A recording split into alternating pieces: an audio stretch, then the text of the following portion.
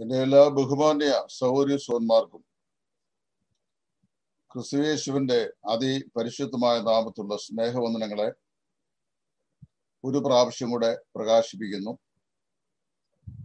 നമ്മുടെ ഈ വചന പഠന പരമ്പരയിൽ സോറ്റിരിയോളജിക്കൽ സ്റ്റഡീസ് രക്ഷാ തത്വശാസ്ത്രപരമാകുന്ന ഈ ഉപദേശ പഠനത്തിൽ അതിന്റെ മറ്റൊരു എപ്പിസോഡിലേക്ക് വീണ്ടും വരുവാൻ കർത്താവ് നമുക്ക് അവസരം നൽകിയിരിക്കുന്നു.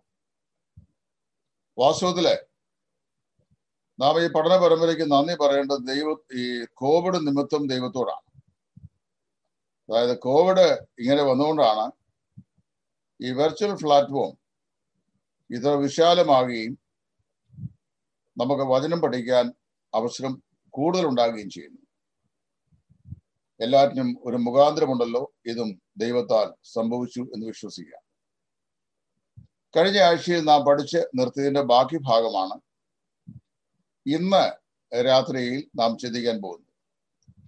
അടുത്ത നാൽപ്പത്തി അഞ്ച് മിനിറ്റ് സമയം പ്രാർത്ഥനയോടെ നമുക്ക് ഒന്നിച്ച് ദൈവസേനയിൽ ഈ വിഷയം പഠിക്കാം. ഞാനിവിടെ ക്ലാസ് എടുക്കുന്നെങ്കിലും ഇത് നമ്മൾ ഒന്നിച്ചാണ് പഠിക്കുന്നത്. ഞാൻ ദൈവം തന്ന ഈ പ്രകാശം നിങ്ങൾക്ക് പകരുന്നു. നിങ്ങളെ അത് കൂടുതൽ ചിന്തിക്കുന്നു മനനം ചെയ്യുന്നു പഠിക്കാൻ അവസരമുണ്ടാകുന്നു. പരിശുദ്ധാത്മാവായ ദൈവത്താൽ ഒരു പാപി രക്ഷിക്കപ്പെടുമ്പോൾ പ്രാപിക്കുന്ന അനുഗ്രഹങ്ങളാണ് കഴിഞ്ഞ ആഴ്ചയിൽ നമ്മുടെ ചിന്താവിഷയമായി ഭവിച്ചത്. അത് മൊത്തം ആറെണ്ണമാണ്. ദൈവത്തിന്റെ പരിശുദ്ധാത്മാവിന് നമ്മുടെ രക്ഷയോട് ഉണ്ടാകുന്ന പ്രവർത്തനങ്ങൾ ആറെണ്ണമാണ് പ്രധാനമായും ബൈബിൾ പറയുന്നത്. ആ ആറിൽ ഒരു നാലെണ്ണം നമ്മൾ കഴിഞ്ഞ ആഴ്ച ചിന്തിച്ചു കഴിഞ്ഞു. നാം വീണ്ടും ജന്മം പ്രാപിക്കുന്നത് ദൈവത്തിന്റെ പരിശുദ്ധാത്മാവിനാലാണ്. അത് യോഹന്നാൻ മൂന്നിന്റെ അഞ്ച് മൂന്നിന്റെ മൂന്ന് ഏഴ് ഈ വാക്യങ്ങളിൽ നിന്ന് നമ്മൾ പഠിച്ചതാണ് വെള്ളത്താലും ആത്മാവിനാലും ജനിച്ചില്ല എങ്കിൽ ദൈവരാജ്യത്തിൽ കടപ്പാൻ കഴിയുകയില്ല. പത്രോസിന്റെ ഒന്നാം ലേഖനം ഒന്നാം അധ്യായത്തിന്റെ ഇരുപത്തിമൂന്നാം വാക്യത്തിൽ പരിശുദ്ധാത്മാവ് ദൈവ വചനത്താൽ നമ്മെ വീണ്ടും ജനിപ്പിച്ചിരിക്കുന്നു എന്ന് നമുക്ക് മനസ്സിലാക്കുവാൻ സാധിച്ചിട്ടുണ്ട്.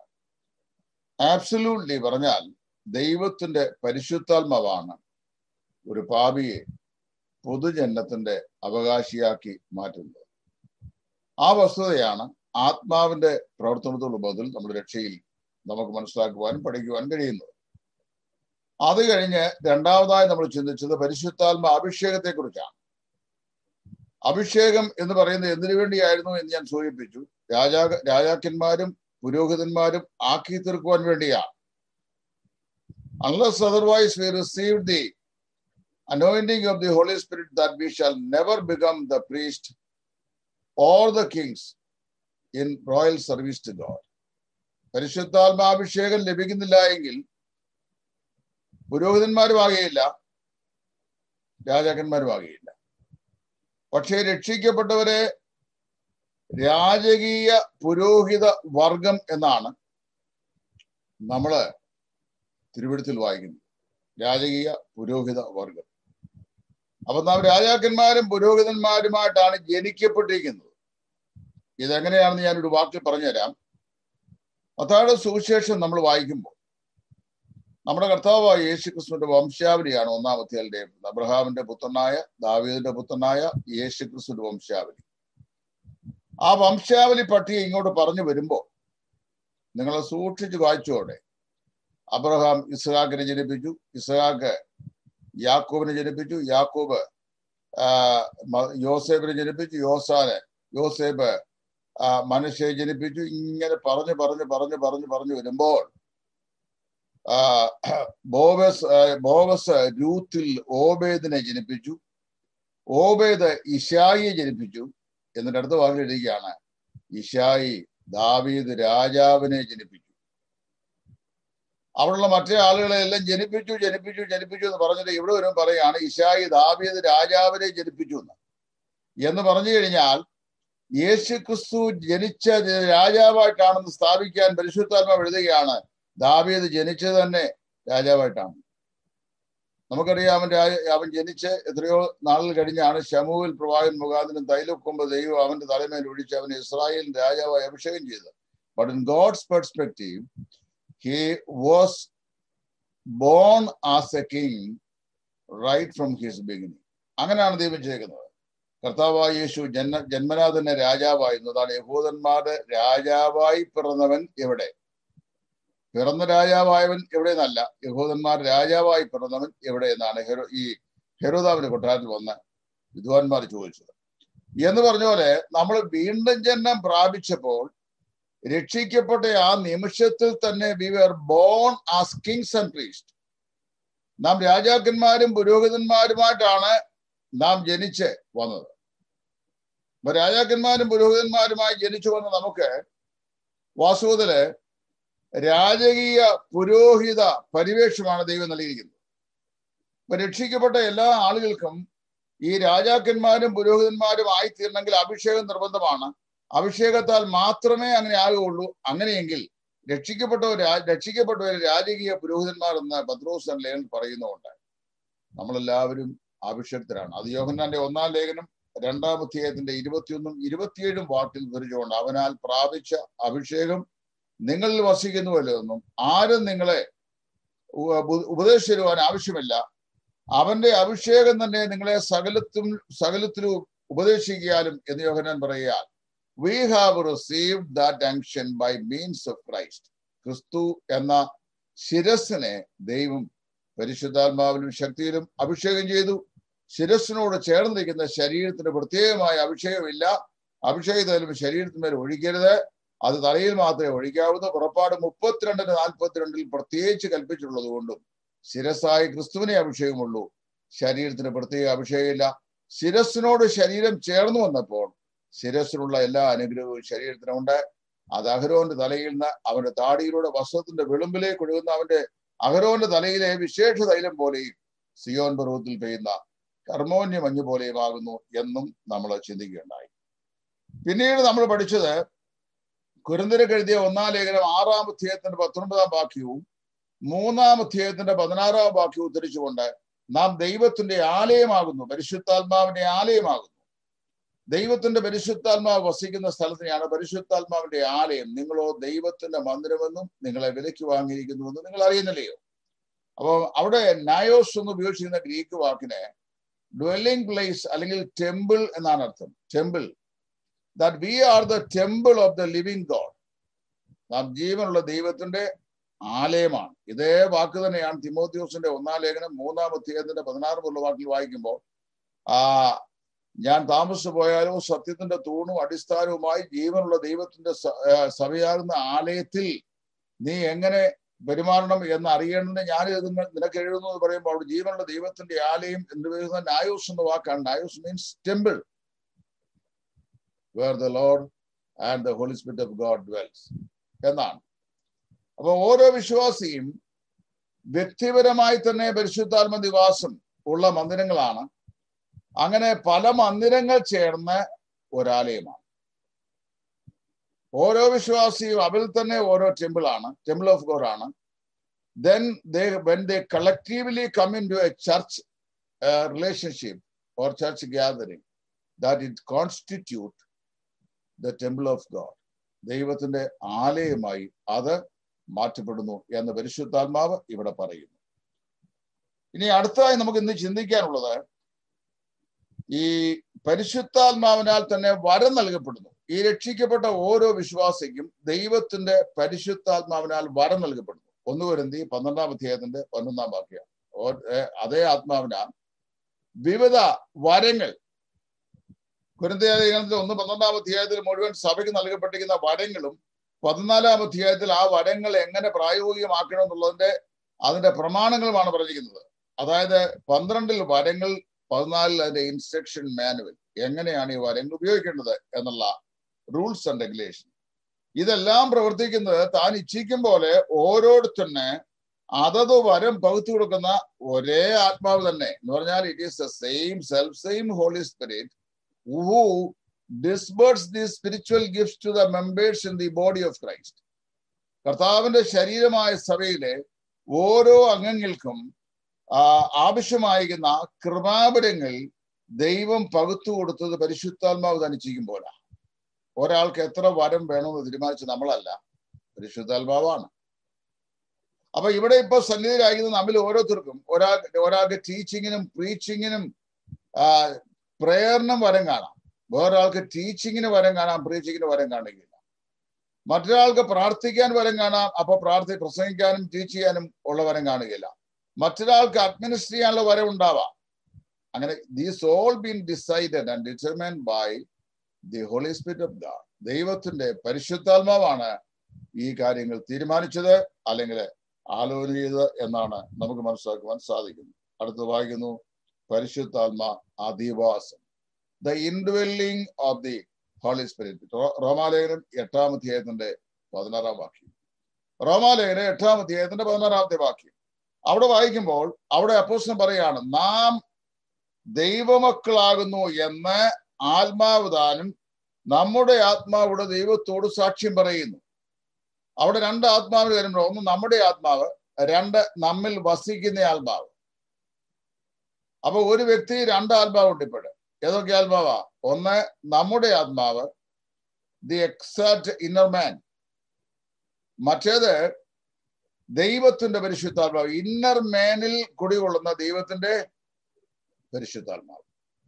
അപ്പൊ ഓരോ വിശ്വാസിയിലും അവന്റെ ആന്തരിക ആത്മാവുണ്ട് അവന്റെ അന്തരാത്മാവുണ്ട്. ആ അന്തരാത്മാവോട് അന്തരാത്മാവിൽ വസിക്കുന്ന ദൈവത്തിന്റെ ആത്മാവ് ചേർന്നിട്ട് പറയുകയാണ് ദൈവത്തോട്. നാം ഇപ്പോൾ ആരാകുന്നു? ദൈവത്തിന്റെ മക്കളാകും അപ്പൊ രക്ഷിക്കപ്പെട്ട ദൈവമക്കൾ അവർ രക്ഷിക്ക് പല ആളുകളും ചോദിക്കാണ്ട് എനിക്ക് രക്ഷിക്കപ്പെട്ടതാണ് പക്ഷെ ഒരു രക്ഷാ നിർണയത്തെ കുറിച്ച് എനിക്ക് ബോധ്യമില്ല. രക്ഷിക്കപ്പെട്ട ഒരാൾ രക്ഷിക്കപ്പെടാന്ന് എങ്ങനെ അറിയുന്നത് every time the Spirit of God ഈ speaking speaking to our spirit that we are the children of God നമ്മൾ ദൈവമക്കളാണെന്ന് എന്ത് ചെയ്യുന്നു? ദൈവത്തിന്റെ പരിശുദ്ധാത്മാവ് നമ്മോട് പറയുന്നു. ഇങ്ങനെ ഏതെങ്കിലും വിശ്വാസിയോട് അന്തരാത്മാവ് സാക്ഷ്യം പറയുന്നില്ലെങ്കിൽ അവൻ രക്ഷിക്കപ്പെട്ട ആളല്ല. വേദപുസ്തകത്തിൽ എവിടെയും വേർപാട് സഭയുടെ അംഗങ്ങളെല്ലാവരും ബന്ധക്കോ സഭയുടെ അംഗങ്ങളെല്ലാവരും രക്ഷിക്കപ്പെട്ടവരാണ് എന്ന് പറഞ്ഞിട്ടില്ല. രക്ഷിക്കപ്പെട്ടവർ സഭയിൽ അംഗങ്ങളാന്ന് പറഞ്ഞിട്ടുണ്ട്. പ്രവർത്തികളുടെ പുസ്തകം രണ്ടാമത്തെ നാൽപ്പത്തി ഏഴ് രക്ഷിക്കപ്പെടുന്നവരെ ദിനംപ്രതി സഭയോടെ ചേർത്തുണ്ട്. കർത്താവിന്റെ സഭ. അല്ലാതെ ഒരു പ്രാദേശിക സഭയിൽ എവിടെങ്കിലും കൂടി വന്നാൽ ഇയാൾ രക്ഷിക്കപ്പെട്ട നിർബന്ധമൊന്നുമില്ല. അന്തരാത്മാവിൽ ദൈവത്തിന്റെ പരിശുദ്ധാത്മാവിന്റെ നിരന്തരമായ സാക്ഷ്യം നാം ദൈവക്കളാണെന്ന് ഉള്ള ആളുകളാണ് രക്ഷിക്കപ്പെട്ടവർ. അവർക്ക് വളരെ ധൈര്യമായിട്ട് പറയാൻ കഴിയും. I am a child of God ഞാൻ ദൈവവേദന അതിന് വേറെ ആരുടെയും സെക്കൻഡറി സപ്പോർട്ടിന്റെ ആവശ്യമില്ല. ഞാൻ നാം ഇപ്പോൾ ദൈവമക്കളാണെന്ന് നമുക്ക് തന്നെ വളരെ വ്യക്തമായിട്ട് മനസ്സിലാക്കാൻ കഴിയും. പിന്നീട് നമ്മൾ പഠിച്ച വിഷയം പരിശുദ്ധാത്മാവിന്റെ മുദ്രയാണ്. പരിശുദ്ധാത്മാവിന്റെ മുദ്ര. ഈ മുദ്ര എന്ന് പറയുന്നത് കഴിഞ്ഞ ആഴ്ച ഞാൻ ഓർപ്പിച്ചത് എനിക്ക് തോന്നുന്നു. ഉടമസ്ഥതയെയും ആധികാരികതയും കാണിക്കുന്നതാണ്. മുദ്ര നമ്മൾ പോസ്റ്റൽ ഡിപ്പാർട്ട്മെന്റ് ഡ്രോപ്പ് ബോക്സിൽ ഒരു ഒരു ലെറ്റർ കാർഡ് ഇട്ട് കഴിഞ്ഞാൽ ആ ലെറ്റർ എൻവലപ്പ് പോസ്റ്റൽ ഡിപ്പാർട്ട്മെന്റ് എടുത്ത ശേഷം ഇന്ത്യ പോസ്റ്റിന്റെ സീൽ അതിന്റെ സ്റ്റാമ്പിൽ അടിക്കും അടിച്ചു കഴിഞ്ഞാൽ പിന്നെ ആ പ്രോപ്പർട്ടി നമുക്ക് തിരികെ കിട്ടത്തില്ല. ആർക്ക് അഡ്രസ് ചെയ്യുന്നു ആ ആളിന് കൊടുക്കുന്നവരെ postal department വകയാണത്. It's a property of the post India post അത് അവിടെ അവിടെ അവിടെ ആ സാ ആ സാധനം സീൽ വെച്ച് കഴിയുമ്പോൾ ആ സീൽ മൗനമായെങ്കിലും വാചാലമായി പറയുകയാണ്. Now it's a position of the India post India പോസ്റ്റിന്റെ ഉടമസ്ഥയിലാണ് ഈ വസ്തു ഇപ്പോൾ. And also we guarantee you or assure you that we will deliver this article to the address നിങ്ങൾ ആർക്കാണ് അഡ്രസ് ചെയ്യുന്നത്? ആളിന്. ഇത് ഡെലിവറി ചെയ്യാം എന്നുള്ള ഉറപ്പും കൂടെ നൽകുന്നു പറയുന്നു. അപ്പൊ രണ്ട് കാര്യങ്ങൾ. ആ ഉടമസ്ഥതയെ കാണിക്കുന്നു ഉറപ്പിനെ കാണിക്കുന്നു. രക്ഷിക്കപ്പെട്ടപ്പോഴാണ് പരിശുദ്ധാത്മാവിനാൽ നമുക്ക് മുദ്രയിട്ടത്. എഫ് എസ് നാലാം അധ്യായത്തിന്റെ മുപ്പതാം വാക്യം ദൈവത്തിന്റെ പരിശുദ്ധാത്മാവിനെ ദുഃഖിപ്പിക്കരുത്. അവനാലല്ലോ നിങ്ങൾ വീണ്ടെടുപ്പ് നാളിനായി പരിശുദ്ധാത്മാവിനാൽ മുദ്രയിടപ്പെട്ടിരിക്കുന്നു. വീണ്ടെടുപ്പ് നാളെന്ന് പറയുന്നത് ശരീരത്തിന്റെ വീണ്ടെടുപ്പായ പുത്രത്വത്തിന്റെ നാളാണ്. റോമാലയിൽ പറഞ്ഞിട്ടുണ്ട്. അതായത് നാം ശരീരത്തിന്റെ വീണ്ടെടുപ്പായി പുത്രത്തിനായി കാത്തുകൊണ്ട് ജഡ ശരീരത്തിൽ ഞരങ്ങിക്കൊണ്ട് ജീവിക്കുന്നു. ആ പുത്രത്വം നമ്മുടെ ദേശകരണമാണ് നമ്മുടെ പുനരുദ്ധാനമാണ്. ആ പുനരുദ്ധാന ദിവസം വരെ നാം ദൈവത്തിന്റെ വകയാണെന്ന് ഉള്ളതിന്റെ ഉടമസ്ഥതയുടെ അടയാളമാണ് ഈ മുദ്ര. ഇത് ആർക്കൊക്കെ കാണാമെന്നറിയാവും? ഞാൻ വിശ്വസിക്കുന്നത് എഴുതപ്പെട്ടിരിക്കുന്ന പതിനടിസ്ഥാനത്തിൽ ദൈവത്തിനത് കാണാം. രണ്ട് പിശാചിന് കാണാം. പിശാചിന് അത് കാണാം. തെളിവ് ചോദിച്ചാൽ തന്നേക്കാം. ദൈവത്തിന്റെ ദൂതന്മാർക്കും കാണാം. കാര്യം അങ്ങനെയല്ലയോ? സേവകാത്മാക്കളായ ശുശ്രൂഷകന്മാർ നമ്മളെ തിരിയുന്നു. നമ്മളൊരു സമൂഹത്തിലാണ് ജീവിക്കുന്നത്. But the angels of God they peculiarly they know each of you that we belong to God ദൈവത്തിന്റെ മക്കളാണെന്നുള്ളത് ദൈവത്തിന്റെ ദൂതന്മാർക്ക് അറിയാം see that the blood of Christ is stamped on our inner man അത് നമ്മൾ മനസ്സിലാക്കണം. പിശാചിന് എങ്ങനെയായി മുദ്ര കാണുന്ന ചോദിച്ചു കഴിഞ്ഞാൽ ദൈവത്തിന്റെ ദാസനായ ഇയോബ് ദൈവസനയിൽ ദൈവത്തിന്റെ ഭക്തനായ ഭക്തന്മാരെ കുറ്റപ്പെടുത്താൻ ചെന്ന് നിന്ന സാത്താൻ അവിടെ ചെയ്യുമ്പോൾ ദൈവം നീ എവിടെ നിന്ന് വരുന്നു? ഞാൻ ലോകം മുഴുവൻ ഊടാടി സഞ്ചരിച്ചു വരുന്നു. എന്റെ ദാസനായ ഇയോബിനെ മേൽ ദൃഷ്ടി വെച്ചോ? എങ്ങനെ?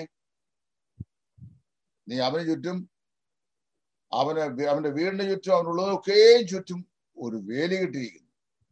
അതായത് യോബിന്റെ വീടിന് ചുറ്റും അവന് ചുറ്റും അവനുള്ളതിനൊക്കെയും ചുറ്റും. അപ്പൊ നോക്കി സാധാരണ വീടിന് ഒരു മതിലാവുള്ളത് ഇവിടെ മൂന്ന് ഫെൻസിങ് ആവും അവന് ചുറ്റും അവന്റെ വീടിന് ചുറ്റും അവന്റെ വസ്തുവകൾക്ക് ചുറ്റും. ഇത്രയും വി ഐ പി ആയി ജീവിക്കുന്ന ആളിനെ ഞാൻ എങ്ങനെയാ നോക്കുന്നതാണ് ചോദിച്ചത് ഈ വേലി നമുക്ക് കാണത്തില്ല. ആർക്ക് കാണാം? പിശാചിന് കാണാം. ദൈവമക്കളാകുന്ന നമ്മളെ ആർക്ക് കാണാം? പിശാജ് കാണാം ഞാൻ ഒരു ദൃഷ്ടാന്തം പറയാം. ദൃഷ്ടാന്തങ്ങളൊന്നും പറയാൻ സമയമില്ലാത്തതുകൊണ്ട് പെട്ടെന്ന് അങ്ങ് പോകുമല്ലോ സമയം ദൃഷ്ടാന്തം പറയുന്ന വിഷയത്തെ വിശീകരിക്കാനാണ് ഞാൻ കുറെ വർഷങ്ങൾ മുമ്പ് എനിക്ക് റെൻഫീൽഡ് ബുള്ളറ്റ് ഉണ്ട്. അതായത് ഞാൻ തിരുവല്ല മെഡിക്കൽ മിഷൻ ഹോസ്പിറ്റലിൽ ചാപ്പലിൽ ശുശ്രൂഷയ്ക്ക് പോയിട്ട് മടങ്ങി വരുമ്പോൾ തിരുവല്ല പ്രൈവറ്റ് ബസ് സ്റ്റാൻഡിന്റെ താഴ്വശത്ത് ഒരു കൺ കൺകെട്ട് വേലക്കാരൻ നിന്ന് ചില മായാജാലങ്ങൾ കാണുന്നു. ഭയങ്കര പുരുഷാരും അവിടെ കൂടി. നമ്മൾ സുവിശേഷം പ്രസംഗിക്കാൻ വെച്ചിരുന്ന ഞാൻ മിക്കവാറും തിരുവിലേക്ക് പോകുമ്പോൾ ആ ഫാഷനപ്പിന്റെ ഇതിന്റെ നമ്മുടെ ഈ സൗത്ത് ഇന്ത്യൻ ബാങ്കിന്റെ ഇപ്പുറത്ത് മാറി ഒരു പാവപ്പെട്ട സുവിശേഷൻ ഒറ്റയ്ക്ക് ഇന്ന് പ്രസംഗിക്കാനുണ്ട് ആരും കേൾക്കാൻ അവിടെ കാട്ടില്ല. അതേ അവിടെ നിന്ന് പ്രസംഗിക്കുക എന്നും ഉണ്ട് എല്ലാ ദിവസവും. ആരും നിന്ന് കേൾക്കുന്നില്ല. ആരെല്ലാം വഴിയെ പോകുന്നവർ കേട്ടിട്ടുണ്ടേ ഉള്ളൂ. പക്ഷെ ഈ കൺകെട്ടുകാരൻ നോക്കി കഴിഞ്ഞപ്പം മണ്ണ് വാരിയിട്ടാൽ താഴോട്ട് വീഴാതെ കൊണ്ട് ആൾക്കാർ ചുറ്റി നിൽക്കുക. അപ്പൊ ഞാനും എന്ത് ചെയ്തു? ഈ ബൈക്ക് സൈഡ് സ്റ്റാൻഡ് നിർത്തി ചാരി അവിടെ നിർത്തി എന്തുവാന്ന് അറിയാൻ വേണ്ടി നോക്കി.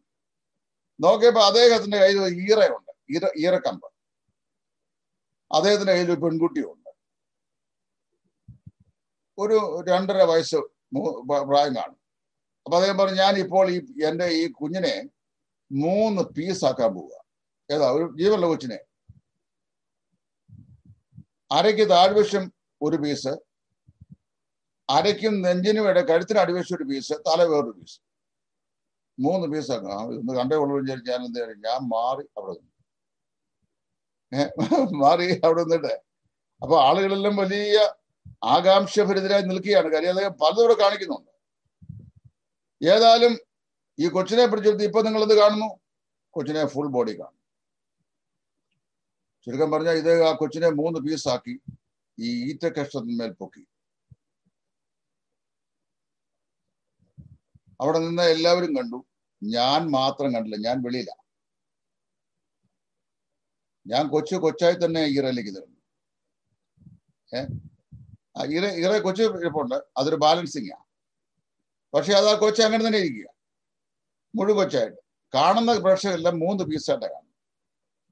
അപ്പൊ എല്ലാവരും വാബുത്തി അത് അത്ഭുതപ്പെട്ട് നിൽക്കുക. ഞാൻ അടുത്ത് നിന്നുകൊണ്ട് ഞാൻ പറഞ്ഞു ഇതാണ് കൺകെട്ട് വേല എന്ന് പറയുന്നത്. ഈ ആൾക്കൂട്ടത്തിന്റെ ഇടയ്ക്കൂടെ ഇദ്ദേഹം വന്നിട്ട് വളരെ രഹസ്യമായിട്ട് പറഞ്ഞു എന്റെ ഉപജീവന മാർഗം എന്നെ ഉപദ്രവിക്കരുത്. സത്യമായും സംഭവിച്ച കാര്യമാണ് കേട്ടോ? അപ്പൊ ഞാൻ നിമിഷം കൊണ്ട് അവിടുന്ന് വണ്ടി സ്റ്റാർട്ട് ചെയ്ത് സ്ഥലം വിട്ടു. അറിയാമോ എന്റെ കണ്ണ് കെട്ടിയില്ല ഞാൻ രക്ഷിക്കപ്പെട്ട ദൈവത്തില അവിടെ നിന്ന മുഴുവൻ ആളുകളെയും കണ്ണ് കെട്ടി. ഇത് അക്ഷരാർത്ഥം തിരുവല്ല വെച്ച് സംഭവിച്ച അറിയാൻ പറഞ്ഞു. കെട്ടപ്പെട്ട കണ്ണ് കണ്ണുകളുള്ളവരെല്ലാം കൊച്ചിനെ മൂന്ന് പീസായിട്ട് കണ്ടു. പിന്നെ ഒന്നിച്ച് ഒന്നിക്കുന്നതും കണ്ടു. കെട്ടാത്ത ഞാൻ കൊച്ചിനെ ആദ്യം മുതൽ ഒറ്റ പീസാക്കി തന്നെ കൊച്ചായി തന്നെ കണ്ടു. അപ്പോൾ ഞാൻ പറഞ്ഞതെന്ന് ചോദിച്ചാൽ ഇവൻ ആ ആൾക്കൂട്ടത്തിന് നടുവിൽ വെച്ച എന്നോട് പറയാണ് എന്റെ ഉപജീവനമാർഗം എന്നെ ഉപദ്രവിക്കരുത്. അപ്പം ഞാനോട് അവൻ ജീവിച്ചു പോകട്ടെ ഞാൻ സ്ഥലം വിട്ടു. പിശാചിനെ കാണാം നമ്മുടെ മേലുള്ള ആത്മമുദ്ര അതാ ഞാൻ എങ്ങനെ അവന് അവ- അവന്റെ മേൽ ദൃഷ്ടി വയ്ക്കും. നീ അവന് ചുറ്റും വേലി കിട്ടിക്കും. നമ്മുടെ ആന്തരിക മനുഷ്യന്റെ മേൽ ദൈവത്തിന്റെ പരിശുദ്ധാത്മാവിനാൽ ഇടപെട്ടിരിക്കുന്ന ആത്മമുദ്രയെ പിശാചിനെ കാണാം. അതുകൊണ്ടാണ് നമുക്ക് ഈ പിശാജ് നമ്മുടെ അടുത്തോട്ട് അടുത്തു വരാൻ ശകലം പേടിക്കും. ശരിയായി രക്ഷിക്കപ്പെട്ടവരുടെ കാര്യം മാത്രമാണ് ഞാൻ ഈ പറഞ്ഞ അല്ലാത്തവരുടെ കാര്യമല്ല. ഏ? ശരിയായി രക്ഷിക്കപ്പെട്ടവരുടെ അടുത്ത്. മാത്രം. അപ്പം അല്ലാത്തവരടുത്ത് അത് പറയുമ്പോ രാത്രി ഇങ്ങനെ പിശാചി വരുന്നതും പൊക്കുന്നതും പിന്നെ എടുത്ത് താഴെ പോകുന്നതും ഒക്കെ ഇങ്ങനെ ചിലപ്പോൾ കണ്ണുനോക്ക് വരാം. അപ്പം ഞാൻ ഈ രാത്രിയുടെ യാമങ്ങളിൽ കൊലപാതിരായിരിക്കും പന്ത്രണ്ട് മണിക്കും ഒരു മണിക്കും രണ്ടു മണിക്കും ഒക്കെ യാത്ര ചെയ്തിട്ടുണ്ട്. ഒറ്റ പിശാചിനെ ഞാൻ കണ്ടില്ല മനുഷ്യനെ കണ്ടിട്ടുണ്ട്. അപ്പം ഒരിക്കൽ മാത്രം ഒരു പിശാചിനെ കണ്ടു. അടൂരൊരു അടൂരല്ല കൊട്ടാരക്കരയ്ക്ക് അപ്പുറത്തൊരു ഒരു കൺവെൻഷൻ ബോർഡ് രാത്രി ബൈക്ക് വരുമ്പോൾ കോട്ടയത്തെ സി എം എസ് കോളേജിന്റെ താഴെയാ സി എസ് ഐക്കാർ ചവക്കോട്ട. അപ്പം ഷോർട്ട് കട്ട് എടുത്ത് രാത്രി മണി പന്ത്രണ്ടര കഴിഞ്ഞു. അങ്ങനെ വരുമ്പോൾ ശവക്കോട്ടയുടെ പടിക്ക് വരുമ്പോൾ അറിയാതെ ശവക്കോട്ടയുടെ ഗ്രില്ലിനകത്തോട് അകത്തോട്ട് നോക്കി. കാര്യം ശവക്കോട്ടയാന്ന് ഉപബോധം മനസ്സിലറിയാം. നോക്കിയപ്പോൾ ശവക്കോട്ടയുടെ നടുക്കുരുത്തി അത് കെടുകയും കത്തുകയും ചെയ്യുന്നു എന്നാൽ ഇത് എന്നാന്ന് അറിയണം വിചാരിച്ചോണ്ട് ഞാൻ ഇതറിയാവും ഈ ഗേറ്റിന്റെ ഗ്രില്ലിനിടയ്ക്കോട്ട് ബുള്ളറ്റ് തിരിച്ചു നിർത്തിയിട്ട് അന്ന് ഈ ഹെഡ് റേസ് ചെയ്താൽ ലൈറ്റ് ആക്സിലേറ്റർ റേസ് ചെയ്താൽ ലൈറ്റ് നന്നായിട്ട് ഗ്ലോ ചെയ്യും. നോക്കിയപ്പോ ഒരു ശവക്കല്ലയുടെ മണ്ടയ്ക്ക് ഒരുത്തർ ഇരുന്ന് സിഗരറ്റ് വലിക്കുക. അപ്പൊ ഇവനെ മനുഷ്യനാണെന്ന് അവൻ സിഗരറ്റ് വലിക്കുക എന്ന് എനിക്ക് മനസ്സിലായി. വല്ല കള്ളന്മാരും ശവക്കോട്ടിലാരാ പോയിരിക്കുന്നത് അപ്പം പിന്നെ എനിക്ക് മനസ്സിലായി. ഞാൻ കൂടുതലായിട്ട് വണ്ടി ഓടിച്ചിട്ട് പോകുന്നു. എന്നാൽ അത് പിശാചാണെന്ന് വല്ലതും വിശ്വസിച്ച് പോയി കഴിഞ്ഞാൽ ഒരു സ്റ്റെപ്പ് പോലും മുമ്പോട്ട് പോകാൻ നോക്കിയാൽ തളർന്നു പോകും. നാലായിരത്തി നാനൂറ്റി നാൽപ്പത്തി എട്ട് നാടി തരമ്പുകളും തളർന്നിട്ട് നമ്മൾ ക്ഷീണിതരായിത്തീരും. അങ്ങനെയാ. അപ്പൊ അല്ലാതെ ഇങ്ങനൊരു പിശാചിനെ അല്ലാതെ എന്റെ ആയുസ് ഞാനൊരു പിശാചിനെ കണ്ടിട്ടില്ല. എന്നാൽ മനുഷ്യരുടെ പിശാചികളെ ഒരുപാട് അതിനെ കണ്ടിട്ടുണ്ട്. ഇപ്പോഴും കണ്ടുകൊണ്ടിരിക്കുക പല വിചാരികളും ഇപ്പോഴും കാണുന്നുണ്ട്. അല്ലാതെ വേറെ ഒന്നും കണ്ടില്ല അപ്പൊ പിശാചിന് നമ്മുടെ മുദ്ര കാണാം. ദൈവദൂതന്മാർക്ക് നമ്മുടെ മുദ്ര കാണാം. കാര്യം രക്ഷിക്കപ്പെടുവാനുള്ളവരുടെ സേവകാത്മാക്കളായ ശുശ്രൂഷകന്മാരാണ് ഈ ദൂതന്മാർ. പിന്നെ ദൈവത്തിനും നമ്മുടെ മേലുള്ള മുദ്ര കാണാം. അപ്പോൾ ദൈവം പറയുകയാണ് കർത്താവ് പറയാണ് ഇവൻ എന്റെ വകയാ. ഞാൻ അവനെ മുദ്രയിട്ടിരിക്കുന്നു. എന്നത്തേക്ക് വരെയാ? വീണ്ടെടുപ്പിന്റെ നാളിനായി. എന്ന് പറഞ്ഞാൽ നമ്മുടെ ശരീരം തേജസ്കരണമായ പുത്രത്വം പ്രാപിക്കുന്നത് വരെയും ഇത് എന്റേതാണെന്ന് പറയാണ്ടുള്ള ഉടമസ്ഥതാവകാശത്തേക്ക് പോയിരിക്കുക. അപ്പോഴാണ് ഇവിടെ ചെന്ന് പറയുന്നത് ഈ രക്ഷ നഷ്ടപ്പെട്ടു പോകുന്നു. രക്ഷിക്കപ്പെട്ട് നമ്മളെ ശരീരത്തിന്റെ വീണ്ടെടുപ്പായ പുത്രത്വത്തിന്റെ തേജസ്കരണം പ്രാപിക്കുന്ന നിമിഷം വരെ ഉടമസ്ഥതയിൽ സൂക്ഷിച്ച് ഉത്തരവാദിത്തോടെ ഫലമേൽപ്പിക്കാം അതായത് നമ്മളെ പിതാവായ ദൈവത്തിന് സമ്മാനിക്കുന്നത് വരെ അതാ വീഴാതെ വണ്ണം നിങ്ങളെ സൂക്ഷിച്ച് തന്റെ മഹിമാസനയിൽ കളങ്കമില്ലാത്തവരായി ആനന്ദത്തോടെ നിർത്താൻ കഴിവുള്ളവൻ യുവതാട് ലേഖനം ഇരുപത്തിനാലാം വാക്യം. അതുവരെ സൂക്ഷിക്കാന്നാ പറഞ്ഞത്. ഇതിനിടയ്ക്ക് എപ്പോഴാ ചോർന്നു പോകുന്നത് അതുവരെയും സൂക്ഷിക്കാം എന്ന് മുദ്ര പറയുമ്പം ഇതിനിടയ്ക്ക് ചോർന്നു പോകുമെന്ന് പറഞ്ഞു കഴിഞ്ഞാൽ സോഷ്യൽ മീഡിയയിൽ ഇന്നും മാത്രം എന്നെ ആൾക്കാരെ ഇത് യുദ്ധം ചെന്നു അറിയാം? രക്ഷയുടെ ഭദ്രതയെ സംബന്ധിച്ച് പറഞ്ഞു. ഏഹ് പിന്നെയും ഞാനത് തന്നെ പറഞ്ഞു. അപ്പൊ നമ്മളെ അങ്ങനെ സൂക്ഷിക്കാൻ പറയുന്നുണ്ട്. പരിശുദ്ധാത്മാവിന്റെ മുദ്ര. അവകാശത്തിന്റെ അച്ചാരമായ വാഗ്ദത്തിന് പരിശു അച്ചാരം എന്ന് നമുക്കറിയാമല്ലോ. എഫ് എസ് ഒന്നിന്റെ പതിമൂന്ന് അവകാശത്തിന്റെ നമ്മുടെ അവകാശത്തിന്റെ അച്ചാരമായ വാഗ്ദത്വത്തിൻ പരിശുദ്ധാത്മാവിനാൽ മുദ്രയിട്ടിരിക്കുന്നു. നമ്മുടെ അച്ചാരം എന്ന് പറഞ്ഞു കഴിഞ്ഞാൽ അഡ്വാൻസ് എമൗണ്ട് എന്നതിന്റെ അർത്ഥം. നമ്മളൊരു ഒരു ഒരു വസ്തു അല്ലെങ്കിൽ ഒരു കെട്ടിടം അല്ലെങ്കിൽ ഒരു ഒരു ഏതെങ്കിലും സാധനം അത് നമ്മൾ ഉടമസ്ഥപ്പെടുത്താൻ വേണ്ടി ഒരാളോട് വില പറഞ്ഞു വില സമ്മതിച്ചു കഴിഞ്ഞപ്പോൾ വിലയുടെ ആദ്യ ഭാഗമായ ഒരു എമൗണ്ട് കൊടുത്തിട്ട് ട്രാൻസാക്ഷൻ കരാർ ഉറപ്പിക്കുന്നതിന് ഉപയോഗിക്കുന്ന പദമാണ് അച്ചാരം എന്ന് പറയുന്നത്. ഏണസ്റ്റ് മണി എന്ന് പറയും. അച്ചാരം ആദ്യ കേടു അതാണ് ആത്മാവെന്ന ആദ്യ ദാനം ലഭിച്ചവരായ നാം. ശരീരത്തിന്റെ പുത്രത്വത്തിനായി എന്ത് ചെയ്യുന്നു? കാത്തിരിക്കുന്നു. രക്ഷിക്കപ്പെട്ട ദൈവമക്കൾക്ക് ആദ്യം ലഭിച്ച ദാനം ദൈവത്തിന്റെ പരിശുദ്ധാത്മാവാണ്. അത് കഴിഞ്ഞാൽ ബാക്കി എല്ലാ ദാനവും ലഭിച്ചു. ആത്മാവെന്ന ആദ്യ ദാനം. That he has given the Holy Spirit of God as an earnest in view of redemption. ദൈവം അങ്ങനെ തന്നിരിക്കുകയാണ്. ഏണസ്റ്റ് തന്നിരിക്കുക അല്ലെങ്കിൽ ആദ്യ ഗഡുവായി തന്നിരിക്കുകയാണ്. രക്ഷിക്കപ്പെട്ട വിശ്വാസിക്ക് ആദ്യ ഗഡുവായി ഏൽപ്പിച്ചു എന്ന പരിശുദ്ധാത്മാവാണെങ്കിൽ പിന്നെ റോമർ എട്ടിൽ ചോദിക്കുക സ്വന്തം പുത്രനെ ആദരിയാതെ നമുക്ക് എല്ലാവർക്കും വേണ്ടി ഏൽപ്പിച്ചെന്നവൻ അവനോട് സകലവും നമുക്ക് നൽകാതിരിക്കുമോ? എന്നാ ചോദിക്കുന്നത്. അപ്പൊ അവിടെ ശ്രദ്ധിക്കുക നമ്മുടെ ആത്മമുദ്ര അത്ര ശ്രേഷ്ഠമാണ്. അപ്പം പരിശുദ്ധാത്മാവിനാൽ ഒരു പാപി രക്ഷിക്കപ്പെടുമ്പോൾ ലഭിക്കുന്ന ആറ് പ്രത്യേക അനുഗ്രഹങ്ങളാണ്. ഒന്ന് വീണ്ടും ജന്മം രണ്ട് പരിശുദ്ധാത്മ അഭിഷേകം മൂന്ന് പരിശുദ്ധാത്മ നിവാസം നാല് പരിശുദ്ധാത്മ വരങ്ങൾ അഞ്ച് പരിശുദ്ധാത്മ അധിവാസം ആറ് പരിശുദ്ധാത്മാവിന്റെ മുദ്ര. ഇനി നമ്മൾ ബാക്കിയുള്ള സമയം ഒരു ഇരുപത് മിനിറ്റ് സമയം ചിന്തിക്കാൻ പോകുന്നത്. പാപത്തോടുള്ള ബന്ധത്തിൽ എന്തെല്ലാം കാര്യങ്ങളാ നമുക്ക് സംഭവിച്ചത്? രക്ഷിക്കപ്പെട്ടപ്പോൾ. പാപം എന്ന് പറയുന്ന വിഷയത്തോട് ബന്ധത്തിൽ എന്തെല്ലാം കാര്യങ്ങൾ നമ്മൾ രക്ഷിക്കപ്പെട്ടവർ സംഭവിച്ചു എന്നുള്ളതാണ് ഇനി അടുത്ത പഠിക്കാൻ പോകുന്നത്. അവിടെ മൂന്ന് അതിപ്രധാനമായ വിഷയങ്ങൾ. ഒരുപാടുണ്ടെങ്കിലും മൂന്ന് അതിപ്രധാനമായ വിഷയങ്ങളുണ്ട്. അത് മൂന്നും പറയാൻ തന്നെ ഇന്ന് രാത്രി സമയം തികയില്ല അതുകൊണ്ട് ഞാനത് പറയുന്ന കാര്യങ്ങൾ ഗ്രഹിക്കത്തക്കോണം പറയണമല്ലോ. അതുകൊണ്ട് ഞാൻ ഓടിച്ചു പോകാതെ വളരെ ശാന്തമായി പറയാം. പാപത്തോളം ബന്ധത്തിൽ ഒരു പാപി രക്ഷിക്കപ്പെടുമ്പോൾ അവന്റെ ജീവിതത്തിൽ സംഭവിക്കുന്ന ഒന്നാമത്തെ കാര്യം ലൂക്കോസിന്റെ സുവിശേഷം ഏഴാം അധ്യായത്തിന്റെ നാൽപ്പത്തെട്ടാം വാക്യം. നിന്റെ പാപങ്ങൾ മോഹിച്ചെന്നിരിക്കുന്നു എന്നാണ് യേശു സ്ത്രീയോട് പറഞ്ഞു. പാപത്തിൽ കർമ്മത്തിൽ പിടിക്കപ്പെട്ട സ്ത്രീയാണ്. അവളെ എറിയാൻ കല്ലുണ്ട്. കല്ലെറിയാൻ കൽപ്പിക്കുന്ന ന്യായപ്രമാണമുണ്ട്.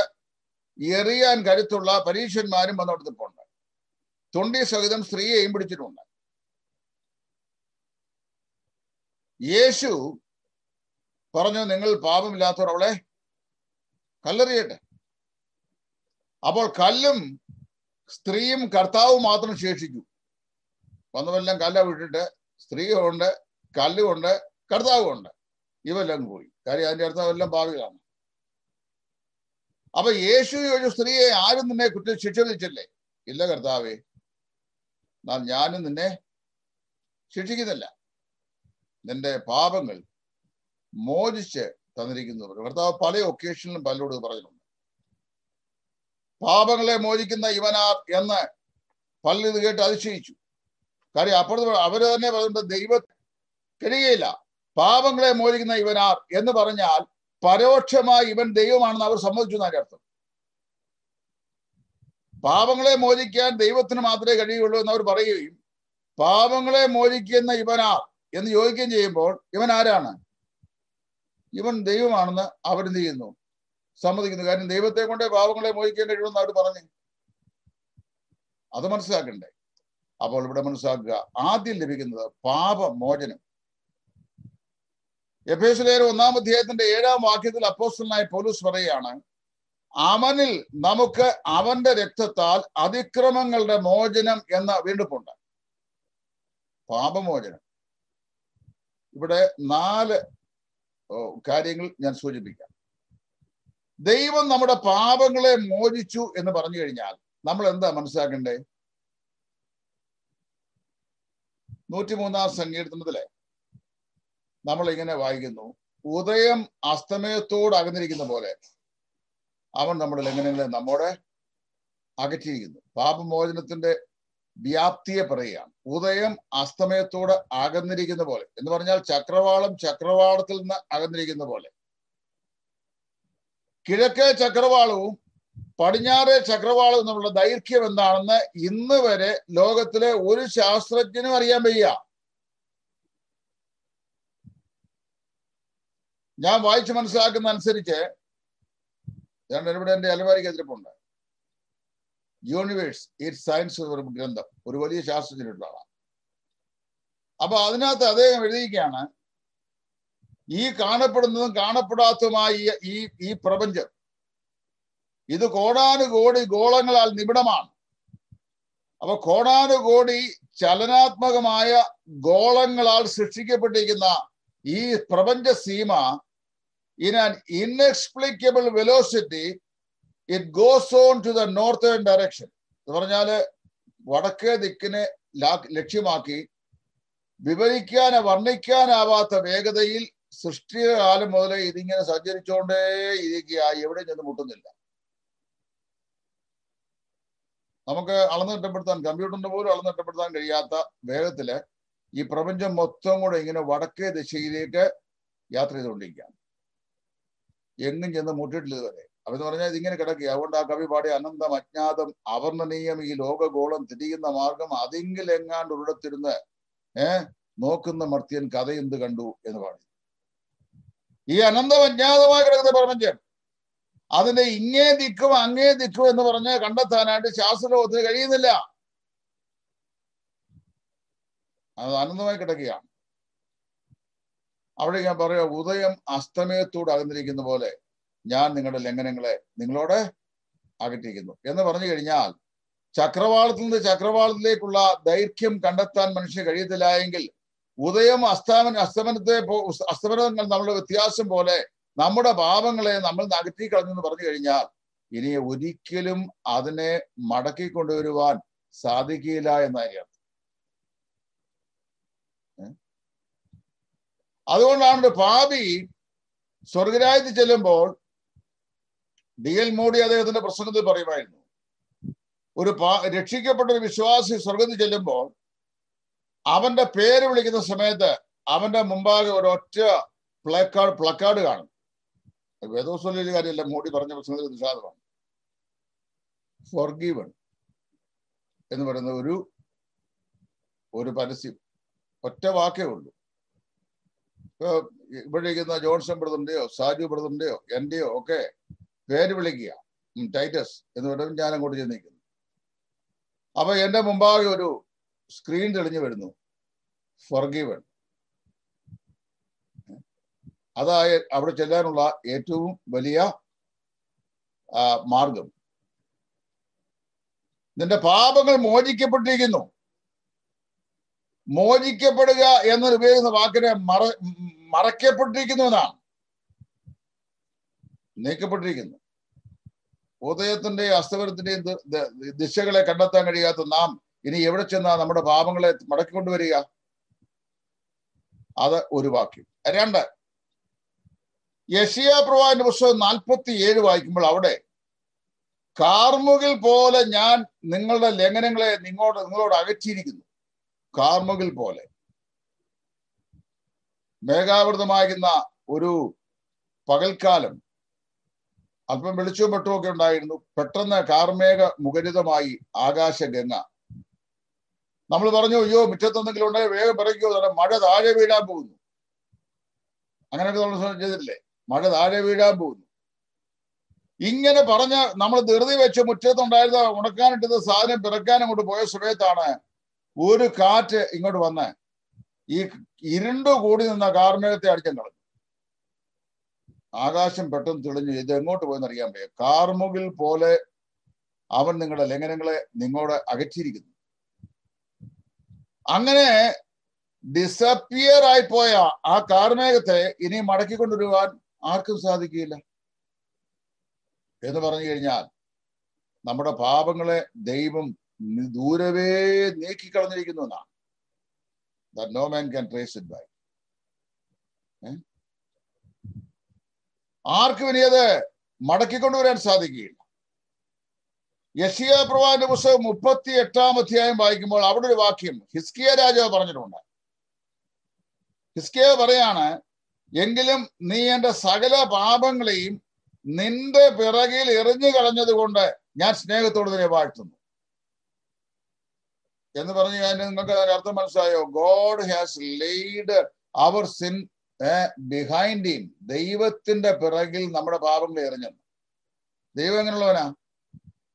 ആദ്യന്താ വിഹീനാണ് ആദ്യമില്ല അന്തവുമില്ല Lord thou been our God from everlasting കർത്താവെ നീ ഏ തലമുറ തലമുറയായി ഞങ്ങളുടെ സങ്കേതമാണ്. He's our God from everlasting നിത്യത മുതലേ അവൻ നമ്മുടെ ദൈവമാണ്. നിത്യത എന്ന് പറയുന്നത് ആരംഭമില്ലാത്ത അവസ്ഥയല്ലേ? കാലമില്ലാത്ത അവസ്ഥയല്ലേ നിത്യത എന്ന് പറയുന്നത്? അപ്പൊ നിത്യത മുതലേ ദൈവമായിരിക്കുന്നവന്റെ പിറകിൽ നമ്മുടെ പാപങ്ങളെ എറിഞ്ഞെന്ന് പറഞ്ഞു കഴിഞ്ഞാൽ who can bring it back ഇത് ആർക്ക് മടക്കി കൊണ്ടുവരാൻ പറ്റും? ഇവിടെയാണ് രക്ഷയുടെ ഭദ്രത നമ്മൾ പഠിക്കുകയും പഠിപ്പിക്കുകയും ചെയ്യുന്നത്. പക്ഷേ നിർഭാഗ്യം എന്ന് പറയട്ടെ പല ആളുകൾക്ക് ഇത് മനസ്സിലാകുന്നില്ല പ്രത്യേകിച്ച് കരിസ്മാറ്റിക്കുകൾക്ക് പെന്തകോസ്റ്റുകൾക്ക് മനസ്സിലാകുന്നില്ല അഥവാ മനസ്സിലായവർ സമ്മതിക്കുന്നില്ല. ഞാൻ ഈ ചോദ്യങ്ങളൊക്കെ അവിടെ ചോദിച്ചിട്ടുണ്ട്. If our sins have been left behind the Almighty God who is everlasting that how can be trace it back അതിന് ഉത്തരം പറയാൻ കഴിയും. മലാഖി പ്രവാഹന പുസ്തകവും നാലാം അധ്യായം വായിക്കുമ്പോൾ എങ്കിലും നീ ഞങ്ങളുടെ സകല പാപങ്ങളെയും സമുദ്രത്തിന്റെ അടിത്തട്ടിൽ ഇട്ടിരിക്കുന്നു. നമ്മുടെ സകല പാപങ്ങളെയും സമുദ്രത്തിന്റെ അടിത്തട്ടിലിരിക്കുന്നു. നാല് വാക്കുകളാണ് പറഞ്ഞു. ഒന്ന് ഉദയം അസ്തമയത്തോടെ അകന്നിരിക്കുന്ന പോലെ നമ്മുടെ പാപങ്ങളെ നമ്മോട് അകറ്റിയിരിക്കുന്നു. രണ്ട് കാർമകൾ പോലെ നമ്മുടെ ലംഘനങ്ങളെ നമ്മോട് നീക്കിയിരിക്കുന്നു. മൂന്ന് ദൈവത്തിന്റെ പിറകിൽ എറിഞ്ഞിരിക്കുന്നു. നാല് സമുദ്രത്തിന്റെ അടിത്തട്ടിൽ ഇട്ടിരിക്കുന്നു പസഫിക് ഓഷ്യനിലെ ഏറ്റവും അഗാധമായ ഒരു ഗർത്തത്തിൽ ഈ കഴിഞ്ഞ ഒന്ന് രണ്ട് വർഷം മുമ്പ് ഒരു സമുദ്രാന്തര ഗവേഷകൻ പോയത് നമ്മൾ വായിച്ചായിരുന്നല്ലോ.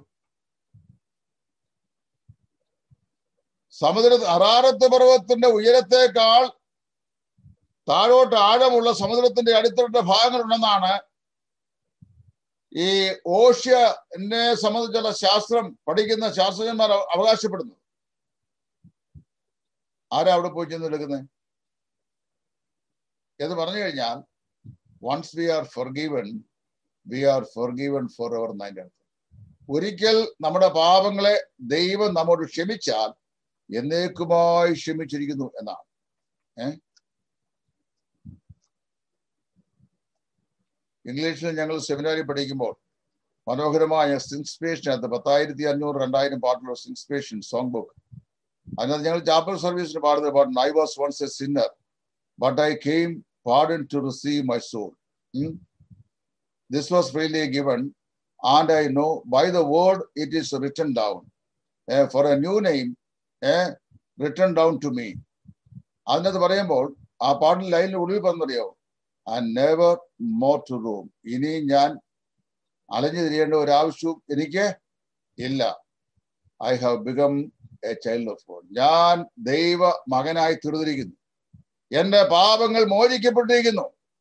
എന്റെ പാപങ്ങളെ എന്നേക്കുമായി നീക്കിയിരിക്കുന്നു. ഇനി എനിക്ക് എനിക്ക് പാപത്തിന്റെ ശിക്ഷയില്ല. അതുകൊണ്ടാണ് റോമാലയൻ എട്ടാം അദ്ദേഹത്തിന് ഒന്നാം വാക്യത്തിൽ പൗലൂസ് പറയുന്നു അതുകൊണ്ട് ഇപ്പോൾ ക്രിസ്തുവേശുവിൽ ഉള്ളവർക്ക് ഒരു ശിക്ഷാവധിയും ഇല്ല എന്ന് പ്രസ്താവിക്കാൻ ഉള്ള മതിയായ കാരണം അതാണ് നമ്മുടെ പാപങ്ങളെ ദൈവം നമുക്ക് മോചിച്ചു തന്നിരിക്കുന്നു. അതാണ് ഒന്നാമത് സംഭവിച്ചത്. രണ്ടാമത്തെ വിഷയം നാം നീതീകരിക്കപ്പെട്ടിരിക്കുന്നു. വി ആർ ബീൻ ജസ്റ്റിഫൈഡ് നാം നീതീകരിക്കപ്പെട്ടിരിക്കുന്നു. റോമാലയം അഞ്ചാമത്തെ അതിന്റെ ഒന്നാം വാക്യം വിശ്വാസത്താൽ നീതീകരിക്കപ്പെട്ടിട്ട് നമ്മുടെ കർത്താവായ യേശു ക്രിസ്തു മുഖാന്തരം നമുക്ക് ദൈവത്തോട് സമാധാനമുണ്ട്. നീതീകരണം. എന്താ ഈ നീതീകരണം എന്ന് പറഞ്ഞാൽ? നീതീകരണം ഒരു ബൈബിൾ ടേമേ അല്ല. അതാദ്യം മനസ്സിലാക്കുക. It's a legal term. കോടതിയോട് ബന്ധപ്പെട്ട ഇപ്പൊ കോടതിയിലെ വാദികളും പ്രതികളും നമ്മൾ വക്കീലന്മാർ വാദിക്ക് കഴിയുമ്പോൾ എതിരാളിയുടെ വക്കീൽ ഒരു ഒരു വിഷയം അവിടെ അവതരിപ്പിച്ചു കഴിഞ്ഞാൽ ഈ ഡിഫൻഡർ പറയും ജഡ്ജിയുടെ മോദക പറയും sir there is no justification for his argument അദ്ദേഹത്തിന്റെ വാദഗതിക്ക് എന്തില്ല? ഒരു നീതീകരണവും ഇല്ല ആ. അപ്പോൾ ജഡ്ജി പറയും ഒബ്ജക്ഷൻ അതിനെ കൗണ്ടർ ചെയ്ത് കഴിയുമ്പോഴാണ് objection over overruled and prosecution grand എന്ന് പറയുന്നത്. കോടതി പോയി നിൽക്കണം. ഇല്ലെങ്കിലും വേണ്ടിയില്ല കേൾക്കാൻ പോയി നിന്നാൽ മതി. നമുക്ക് അവിടുത്തെ റൂൾ കാണാം. ഞാൻ പോയി നിന്നിട്ടുണ്ട് കേൾക്കാൻ വേണ്ടി. എനിക്ക് ഇഷ്ടമാണ് കേൾക്കുന്നത്. അപ്പൊ അവിടെ നീതീകരിക്കപ്പെടുക. നമ്മൾ നല്ലവുള്ളവരായിട്ടല്ല നമ്മൾ വിശുദ്ധന്മാരെ ദൈവം പ്രഖ്യാപിച്ചു. നമ്മൾ ഭാവിയായി തന്നെയാണ് ദൈവസ്വം ചിന്തിക്കുന്നത് മുഴുഭാവികളായി ആടി മുതൽ മുടി വരെ ഒരു സുഖവുമില്ലെന്ന് സിയാപ്രവാൻ പറഞ്ഞ അവസ്ഥയിൽ ആ ദൈവസ്വം നിൽക്കുന്നത് അങ്ങനെ നിന്നപ്പോൾ എന്ത് ചെയ്തു? കർത്താവായ യേശു ക്രിസ്തു നമുക്ക് പകരക്കാനായി മരിക്കിയാൽ ആ യേശു ക്രിസ്തു എന്റെ പാപത്തിനു വേണ്ടിയാണ് മരിച്ചത് എന്ന് ഞാൻ വിശ്വാസം അംഗീകരിച്ചപ്പോൾ എന്റെ ശരീരത്തിന്മേൽ ഒരു പുതുവസ്ത്രം കൊണ്ടുവന്ന് ഒരാളിനെ അണിയിപ്പിച്ചതുപോലെ കർത്താവായ യേശു ക്രിസ്തു ക്രൂശിൽ വരുത്തിയ ദൈവനീതിയുടെ വസ്ത്രം ദൈവം എന്റെ മേലെ കിട്ടും എന്ന് പറഞ്ഞപ്പോൾ I was fully covered by the righteousness of Christ which he wrought about on the cross of Calvary by his substitution ക്രിസ്തുവിന്റെ പ്രായച്ചിത്ത ബലിയാൽ ക്രിസ്തു നേടിയ ദൈവത്തിന്റെ നീതി ക്രിസ്തുവിന്റെ നീതി എന്ന ആ വലിയ ചട്ട എന്നെ അങ്ങ് പുതപ്പിച്ചു ദൈവം. ക്രിസ്തു പുതപ്പിച്ചു. ഞാൻ ഞാൻ തന്നെയാ. ഞാൻ ആരാ? പാപിയാ. ഈ ക്രിസ്തുവിന്റെ നീതി എന്നെ പുതപ്പിച്ചു കഴിഞ്ഞപ്പോൾ അതിനെയാണ് ഇമ്പ്യൂട്ടേഷൻ ഓഫ് റൈച്ചസ്നസ് എന്ന് തിയോളജി പറയുന്നത്. ഇമ്പ്യൂട്ടേഷൻ ഓഫ് റൈച്ച നീതി ചുമത്തുക. ബറബാസ് കലക്കാരനും കൊലയാളിയായിരുന്നു. കൊള്ളക്കാരനുമായിരുന്നു. കലക്കാരനും കൊള്ളക്കാരനുമായിരുന്ന ബറബാസ് യേശുക്രിസ്തുവിനെ ക്രൂശീകരിക്കപ്പെടുന്നതിന് തൊട്ടു മുമ്പ് വരെയും അവന് കള്ളനും കലക്കാരനും കൊലയാളിയുമാണ്. ഒരു മാറ്റവും ഉണ്ടായില്ല കാര്യം റോമാ ഗവൺമെന്റിനെ ശിക്ഷയ്ക്കായി വിട്ടേക്ക് അവൻ ക്രൂശക്കാരനവനാ എന്നാൽ നിങ്ങൾക്ക് ഇവൻ ലേവനെ വേണ്ടു എന്ന് വിലാദോസ് ചോദിക്കുമ്പോൾ ഞങ്ങൾക്ക് ബറബാസിനെ മതി.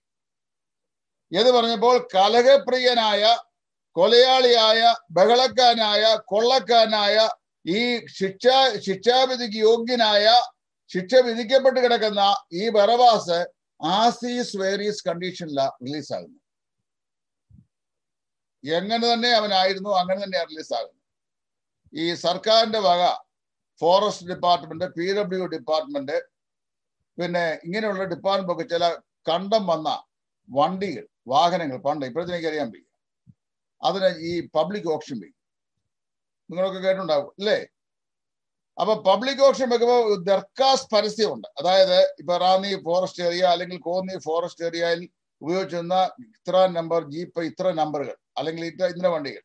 അത് എന്നിട്ട് അത് option is arrange on such and such day by government of Kerala department of forest എന്നിട്ട് അതിന്റെ ബ്രാക്കറ്റിൽ ഒരു ആസീസ് വേരീസ് കണ്ടീഷൻ ശ്രദ്ധിച്ചിട്ടുണ്ടോ? ഇപ്പോഴത്തെ കണ്ടീഷൻ എങ്ങനെയോ ആ കണ്ടീഷൻ തന്നെ. എന്തുവായിരുന്നു നമ്മുടെ കണ്ടീഷൻ അഭക്തൻ പാപി ബലഹീനൻ ദൈവത്തിന്റെ ശത്രു. ഇതായിരുന്നു നമ്മുടെ കണ്ടീഷൻ ആസീസ് വേരിയസ് കണ്ടീഷനിലാണ് നമ്മൾ ദൈവസ്ഥലം നിൽക്കുന്നത്. അങ്ങനെ നിൽക്കുമ്പോൾ ക്രിസ്തു ക്രൂശന്മേൽ നിവർത്തിച്ച ദൈവത്തിന്റെ നീതി. എന്താ ദൈവത്തിന്റെ നീതി? പാപി വിടുവിക്കപ്പെടണം. അതിന് സ്നേഹം നിർബന്ധിക്കുന്നു. അപ്പോൾ തന്നെ പാപത്തിന് ശിക്ഷ വിധിക്കണം. അങ്ങനെയെങ്കിൽ നിരപരാധി എന്ത് ചെയ്യുന്നു? കൊല്ലപ്പെടുന്നു. അവൻ നമ്മുടെ പാപം തന്റെ മേൽ ഏറ്റെടുത്ത് നമുക്ക് വേണ്ടി മരിക്കിയാൽ അതാ വായിക്കുന്നത് നമ്മുടെ പാപത്തിൽ സമാധാനത്തിലുള്ള ശിക്ഷ അവന്റെ മേലായി. അങ്ങനെ ദൈവം കർത്താവായ യേശു നമ്മുടെ പാപത്തെ ചുമന്നൊഴിക്കുവാൻ തന്റെ ശരീരം ദഹനയാഗമായി ക്രൂശിന്മേൽ ഏൽപ്പിച്ചപ്പോൾ ദൈവത്തിന്റെ നീതി നിവർത്തിക്കപ്പെട്ടു. അഥവാ ദൈവം ക്രിസ്തുവിൽ പാപത്തിന് ശിക്ഷ വിധിച്ചു. പാപത്തിന് ശിക്ഷ വിധിച്ചു കഴിഞ്ഞപ്പോൾ ദൈവഹൃദയം സമൃദ്ധമായി. ക്രിസ്തു തന്റെ മരണത്താൽ നേടിയ ദൈവനീതി ക്രിസ്തുവിന്റെ യാഗത്തെ വിശ്വസിച്ച ഭാവിയെ ദൈവം കൊണ്ടങ്ങ് മറച്ചു. മറച്ചു കഴിഞ്ഞപ്പോൾ God looks the sinner being righteous ദൈവം ഭാവിയെ ഭാവിയായിട്ടല്ല കാണുന്നത് എങ്ങനെയാ കാണുന്നത് നീതീകരിക്കപ്പെട്ടവനായി സോ അതുകൊണ്ട് justification is a judicial proclamation by which the Almighty God proclaimed a sinner to be righteous on account of his personal faith upon the substitutionary death of Christ on the cross of Calvary on his behalf. നമുക്ക് വേണ്ടി കർത്താവായ യേശു കാൽവല്ലെ ക്രൂശിൽ മരിച്ച യാഗമരണ പ്രതിപകര മരണത്തിൽ എന്റെ പാപങ്ങളെ മുഴുവനായി ക്രിസ്തു തന്റെ മേൽ ഏറ്റെടുത്തതായി ദൈവം കണ്ടിട്ട് പാപിയായ എന്നെ പാപമല്ലാത്തവനായി സ്വർഗത്തിൽ നിന്ന് പ്രഖ്യാപിക്കുന്ന സ്വർഗീയ കോടതിയുടെ പ്രഖ്യാപനമാണ് എന്ത്? നീതീകരണം. ബർബാസൻ പറഞ്ഞു പൊക്കോളാൻ. അവൻ പോയി. പോയപ്പോ പറഞ്ഞറിയാവോ യേശു ക്രൂശിക്കപ്പെടാൻ ഏൽപ്പിച്ചപ്പോഴാണ് ബർബാസ കുറ്റമറ്റ അറ്റവനായി കാരാഗ്രഹത്തിൽ നിന്ന് വധശിക്ഷ ഒഴിഞ്ഞ് പോയത്.